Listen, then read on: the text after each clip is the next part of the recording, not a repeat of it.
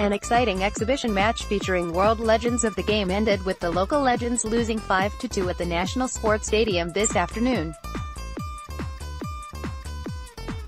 The match lived up to its promises to be a thriller with seven goals being scored. The match organized by the Zimbabwe Tourism Authority (ZTA) in conjunction with the with the world-class legends was meant to promote Zimbabwe as a safe destination for tourism and investment.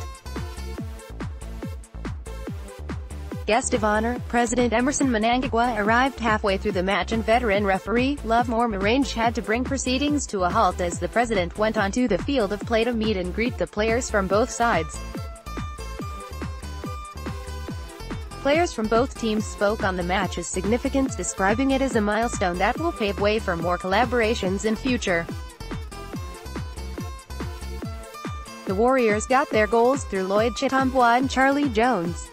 Some of the former football stars who featured in the world-class legends included Barcelona and Ajax Amsterdam great Patrick Kluivert, Julio Baptista, steely Italian defender Gianluca Zambrotta, Albert Luque, Francesco Coco, Spanish midfielder Coca Contreras.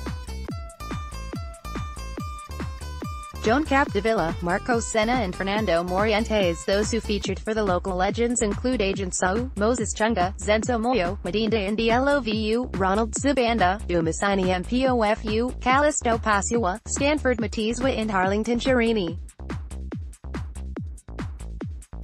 Warriors coach, Sunday Chidzambwa, David Mandigora and Gibson Homela were in charge of the Warriors legends.